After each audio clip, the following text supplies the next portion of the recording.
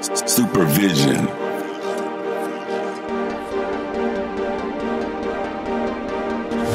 Laser Maid's gotta be. Don't get knocked.